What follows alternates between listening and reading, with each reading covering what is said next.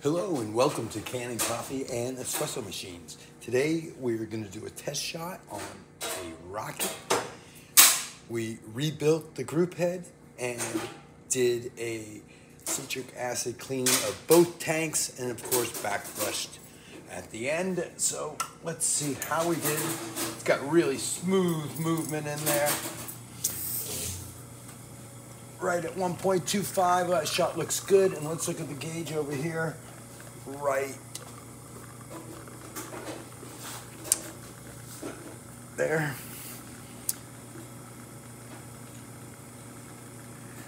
Anyway, we'll give this a quick stop. There we go, a nice exhaust. Certainly some really nice crema there. Let's check the steam. Nice strong steam. Here's the water. is a PID. You can hear the machine asking for uh, to replenish the water we took. Anyway, thank you for repairing with Kanen Coffee and Espresso Machines. Please like this video, and if you'd like to see more videos like this, please like and subscribe to our page.